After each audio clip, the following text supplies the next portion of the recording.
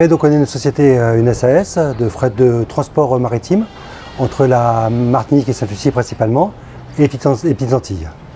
Il faut savoir qu'en fait on a déjà une société de tra- transport de passagers qui s'appelle Transport Express Caraïbes, avec deux navires de 84 places. Donc on effectue déjà les liaisons entre la Martinique et Sainte-Lucie. Donc on est deux associés, Monsieur Marchangil et moi-même. Donc euh, on a les deux sociétés. Donc on fait le transport de passagers depuis 2015, mais ça fait déjà 20 ans qu'on faisait déjà ça sur des petits navires. L'identité c'est vraiment les bateaux roses parce que nos anciens petits bateaux étaient roses aussi. Alors Capo Rosso en fait c'est un cap corse qui se trouve euh, en Corse. Et quand on a acheté le premier navire, qui s'appelait Capo Rosso 1, il s'appelait Capo Rosso. Et le nom me plaisait, et en plus on avait déjà l'idée de faire des bateaux roses, c'était déjà notre marque déjà, et donc c'était un signe, c'est Capo Rosso, et puis et les bateaux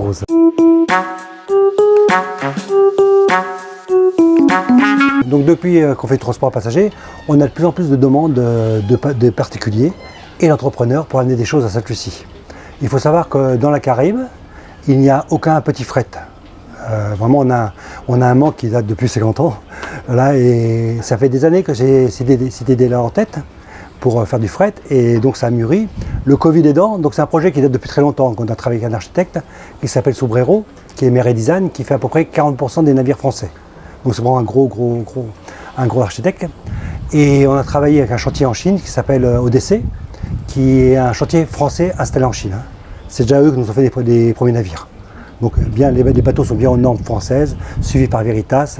Donc c'est vraiment un, chantier français. hein. La ré- réglementation est assez compliquée quand même.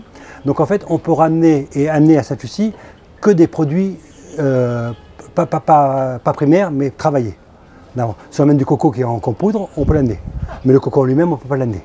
Hein, Pour tous les végétaux, en fait, tous les végétaux sont interdits dans les deux sens pour, projeter la- pour, pour protéger vraiment la, Martinique et Sainte-Lucie.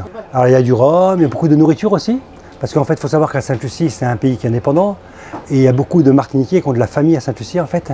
Et donc, ils leur envoient de la nourriture, des boissons, des... il y a aussi tout ce qui est produit euh, euh, électroménager aussi, des machines à laver, des frigidaires, des télés. Voilà, donc il y a, il y a vraiment, c'est vraiment un familial, quoi. C'est les gens envoient pour leur famille euh, des produits.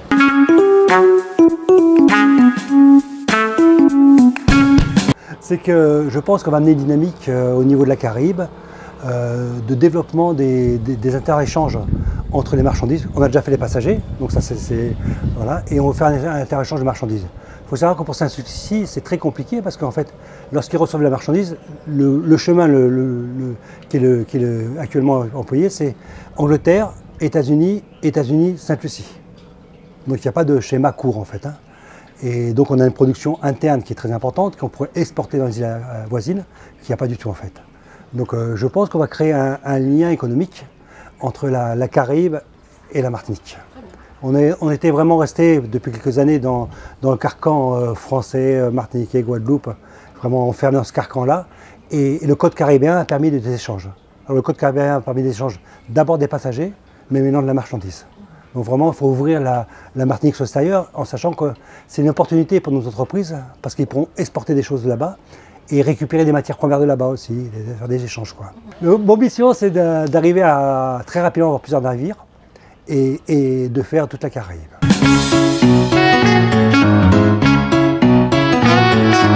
Alors pour nous, c'était très, très compliqué, parce que sachant que le 17 mars 2019, nos voyages de transport de passagers s'étaient arrêtés du jour au lendemain.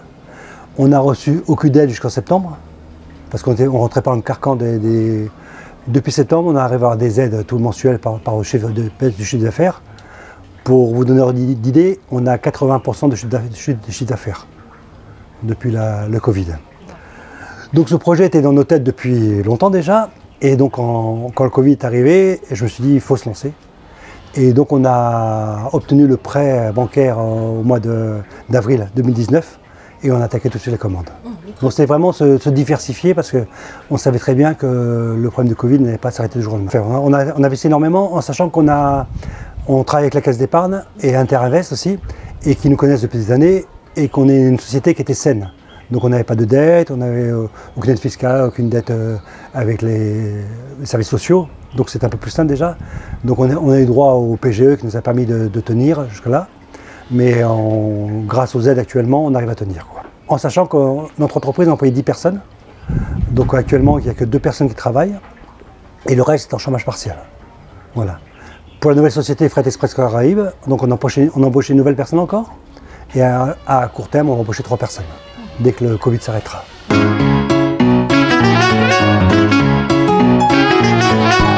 Pour revenir à la genèse de l'histoire, c'est important de comprendre ça. Quand on a commencé le transport, on avait mon associé et moi-même, on avait deux sociétés avec des, bilans, bien sûr, des, comptes bancaires, des bilans qui étaient très bien la route. Et le fait de s'associer permettait, en triplant la clientèle, juste en s'associant, juste en baissant les frais, on payait le prêt. Donc c'était un dossier qui paraissait tellement simple et tellement évident auprès des banques. Donc les banques nous ont tous reçus, très beau projet, très beau projet, et puis ça s'arrêtait là. Ça n'allait pas plus loin. Sur un projet qui était vraiment ficelé. avec des- Et donc on a, cherché, cherché, on a, fait, on a demandé de l'aide à Réseau Entreprendre, qui est, un groupement de- d'entrepreneurs pour aider les nouveaux entrepreneurs. Donc il faut savoir qu'on a été lauréat de Réseau Entreprendre pour le, le transport passager. Et donc grâce à eux, ils nous ont affilié à un parrain. Et ce parrain nous a fait rentrer dans les banques, mais par là-haut. Et on a pu voir des rencontres des directeurs. Et le projet s'est fait comme ça. Donc euh, c'est vraiment. Et je pense, pour je par ça, on a un gros problème en Martinique. Parce que des gens comme moi, il y en a plein. Qui ont des, excellentes idées, mais qui n'ont pas de moyens financiers pour y arriver. Et donc je pense que, c'est mon point de vue personnel, qu'il faudrait que l'État français arrête de donner des subventions, mais couvre les prêts. Et je pense qu'on tout le monde y gagnerait. Quoi. Donc pour, co- pour continuer l'histoire, euh, donc on a fait le bateau de fret. Et le bateau de fret était financé, mais j'ai voulu me relancer avec Réseau Entreprendre. Parce qu'en plus, il nous apporte un suivi euh, mensuel, d'avoir un regard extérieur sur l'entreprise. Donc on a été un nouveau lauréat sur euh, Fret Express Caraïbes.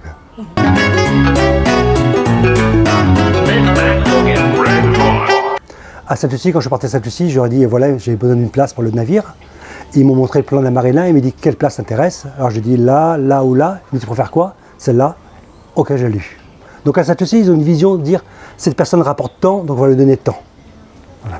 Quand je suis arrivé en Martinique, ici, avec les bateaux, on a eu un problème manifeste pour avoir une place de, de- de bateau. On a dû aller voir le préfet, on a dû voir les affaires maritimes pour que les choses avancent. Donc c'est vraiment le. On sent vraiment qu'il y a une bureaucratie qui est très lourde en, France, en Martinique personnellement, et que les gens ne veulent pas avancer.